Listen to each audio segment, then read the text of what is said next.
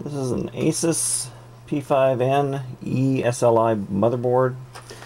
Sold it to a guy on uh, eBay, uh, supposedly A plus certified, etc., etc.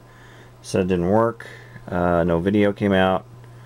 Yada yada, and wanted his money back. Um, I've posted it three times uh, so far uh, with with video and into the uh, into the BIOS. So uh, we're going to try it again while I'm uh, filming this. I'm going to jumper it. Starts fine. CPU fans going. and there we have video right there. And now it's going to go into, yeah, BIOS setup.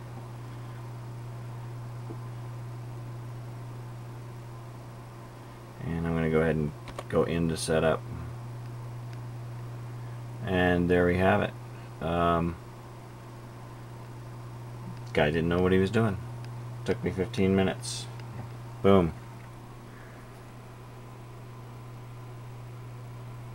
I think the guy owes me an apology.